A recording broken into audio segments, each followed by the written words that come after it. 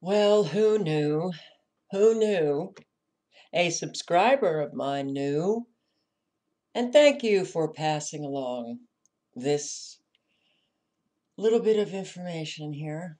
Have you ever wondered how you rank in the bedroom against other men? Well, soon you will be able to.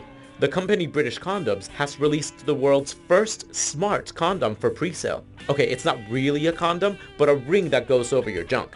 The i.Con, get it?